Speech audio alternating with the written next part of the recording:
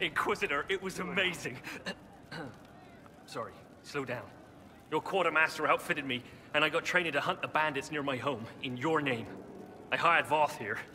Don't tell anyone, but he's a, a mage. A good one, though. Thank you for trusting me, your worship.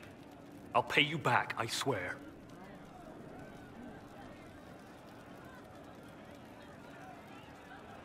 Right. And who were you again?